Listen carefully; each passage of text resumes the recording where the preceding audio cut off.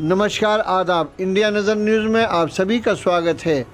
आज सिकंदराबाद में साईं बाबा की सवारी निकाली गई, जो बहुत ही खूबसूरत बैंड बाजे के साथ में निकली।